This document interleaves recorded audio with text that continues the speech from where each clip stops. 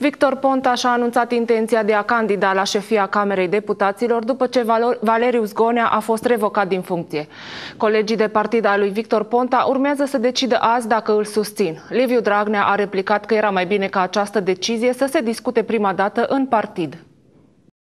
Victor Ponta a făcut primul pas spre conducerea Camerei Deputaților. Fostul premier a declarat în presă că își va depune candidatura pentru funcția de președinte al Camerei. Intenționez și mâine la CEX și miercuri la grup să-mi depun candidatura. Am discutat cu foarte mulți colegi care mi-au zis că e bine pentru PSD și pentru Parlament acest lucru și o să vedem ce se întâmplă la vot. După declarațiile din presă, liderul PSD, Liviu Dragnea, îi dă replica lui Victor Ponta. Dacă s-a autopropus nici trebuie să mai votăm.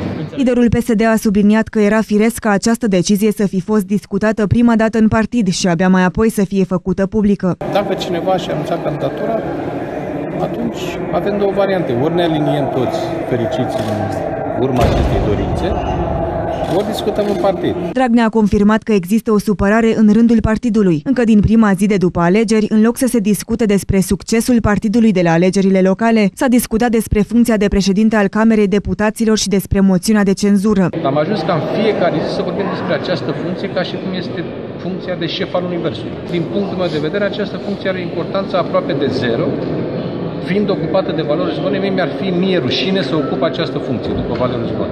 Victor Ponta susținea la sfârșitul lunii mai că nu-și dorește această funcție, dar în viață nu faci numai ce-ți dorești. Acum acesta speră să fie susținut de colegi de partid, dar în primul rând de către Liviu Dragnea. Vedem mâine la vot. Eu sper totuși să mă susțină în primul rând Liviu și după aceea toți ceilalți colegi.